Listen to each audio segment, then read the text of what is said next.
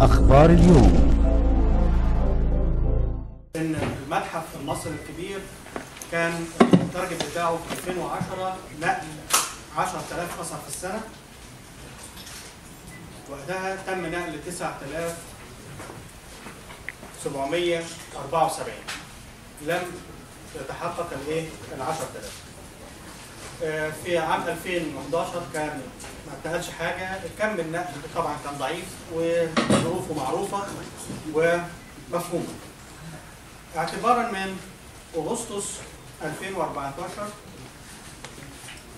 تم تشكيل لجنة جديدة لنقل الآثار في المتحف المصري الكبير وخاصة التركيز على الآثار التي ستعرض.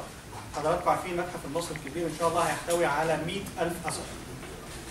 منهم 50000 في العرض أهمهم طبعا توت عنخ امون والمركب الثانية للملك خوفو ده إنشاء المتاحف الإقليمية اللي بدأت في الثمانينات ثم المتحف المصري الكبير اللي إحنا شغالين فيه اللي هيضم فيه مجموعة متميزة من أهمها مجموعة الملك توت عنخ امون لأنه هيتكلم على سيناريو عرض خاص بالملكية والأبدية في مصر القديمة.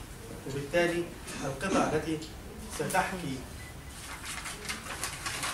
آه هذه القصة هي التي ستعرض في المتحف.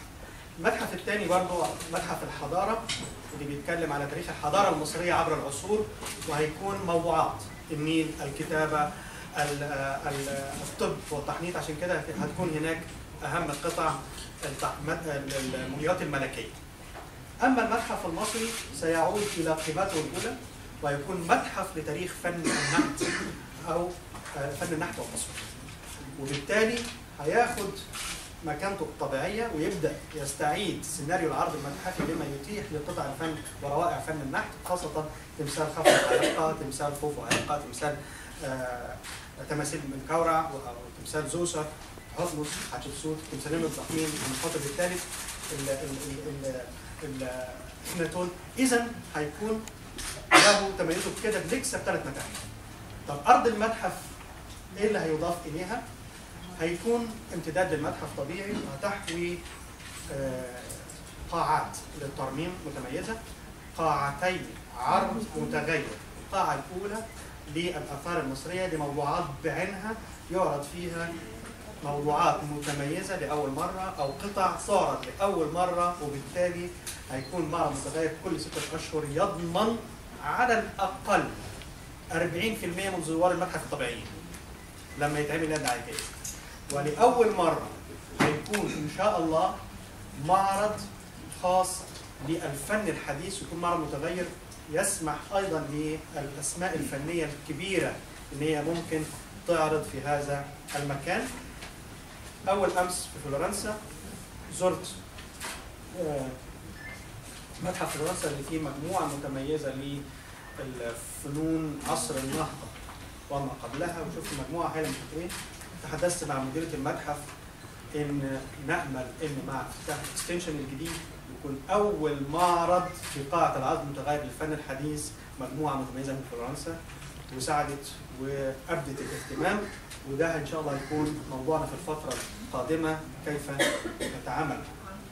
هيكون أيضا في Pharaonic botanic garden حديقة نباتية فرعونية متميزة. سيكون أيضا هناك رحلة نيلية.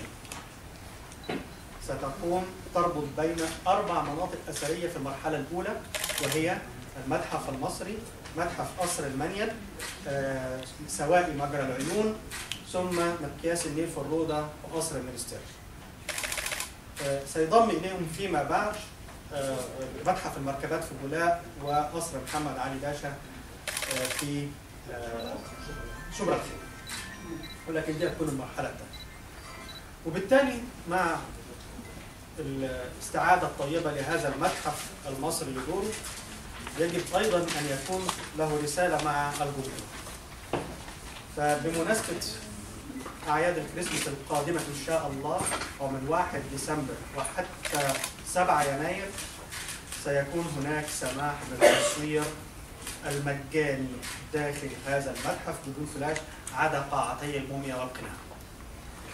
وإن شاء الله بعد كده بناء على طلب السادة المشاركين معنا وهم طبعا حضراتكم عارفين المسلمين السياحيين ليهم دور وليهم رؤية ومع رؤيتهم بنرى أيضا أن يكون هناك إن شاء الله تذكرة للدخول بعد هذه المدة تكون مجانية.